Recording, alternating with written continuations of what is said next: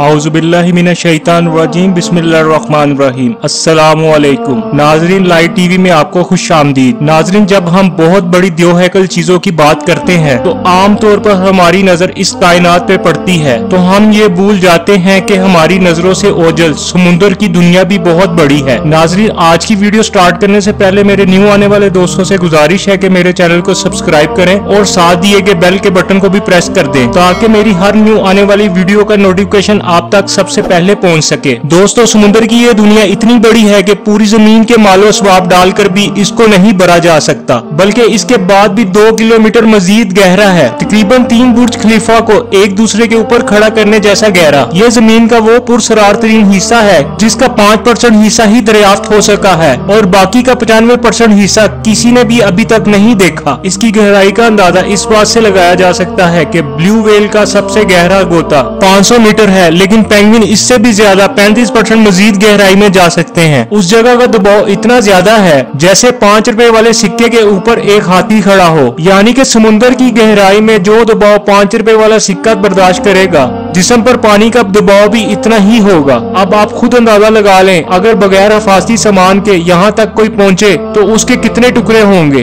دوستو، اب ہم مزید نیچے اور گہرائی میں چلتے ہیں۔ ہزار میٹر کے بعد سمندر کا خوفناک روپ شروع ہو جاتا ہے، کیونکہ یہاں سے آگے سورج کی روشنی ساتھ نہیں دیتی۔ اور یہاں پر سمندر کی دو ہیکل سکوائر بھی پائی جاتی ہیں، جو کہ اپنی شدید لڑائیوں کی وجہ سے بہت مشہور ہیں۔ قرآن پاک میں ارشاد باری تعالیٰ ہے۔ پھر اس کی مثال ایسی ہے جیسے ایک گہرے سمندر میں اندھیرا ہو، جس پر ایک موج چھائی ہو، اس کے اوپر ایک اور موج آ رہی ہو اور اس کے اوپر بادل ہو طریقی پر طریقی مسلط ہے۔ آدمی اپنا ہاتھ نکالے تو اسے بھی نہ دیکھ پائے۔ اللہ جسے نور نہ بخشے، اس کے لیے کوئی نور نہیں۔ ناظرین سائنسدان حال ہی میں جدید آلات کی مدد سے تحقیق کرنے کے قابل ہوئے ہیں۔ سمندر کی گہرائیوں میں طریقی ہوتی ہے اور یہ طریقی اتنی ہے کہ انسان کے بس کی بات ہی نہیں کہ وہ بیس یا تیس میٹر کی گہرائی میں بغیر اضافی ساز و سامان کے گوتا لگا سکے۔ اس کے علاوہ انسانی جسم میں اتنی قوت برداشت ہی نہیں کہ وہ دو سو میٹر سے زیادہ گہرائی میں پڑنے والے آبی دباؤ کا سامنا کرتے ہوئے زندہ بھی رہ سکے۔ دوستو، یہ آیت تمام سمندروں کی طرف اشارہ نہیں کرتی، بلکہ بطور خاص گہرے سمندروں کی طرف توجہ دلاتی ہے۔ قرآن پاک میں بھی اس آیت کو وسیع اور گہرے سمندر کی تحریکی کا حوالہ دیا گیا ہے۔ اور گہرے سمندر کی یہ تحریکی دو اسباب کا نتیجہ ہے۔ روشنی کی ایک شواز سات رنگوں سے مل کر بنتی ہے۔ یہ سات رنگ بالترتیب بنفشی، کاسنی، نیلا، سبز، پیلا